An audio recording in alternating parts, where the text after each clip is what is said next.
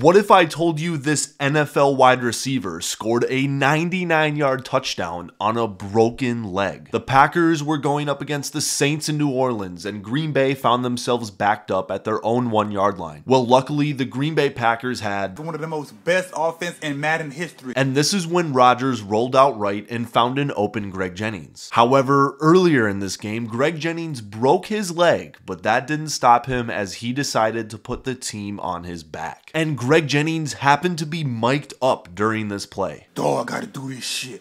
I put the team on my fucking back, though. My leg broke. I don't know how the fuck I'm running right now, though.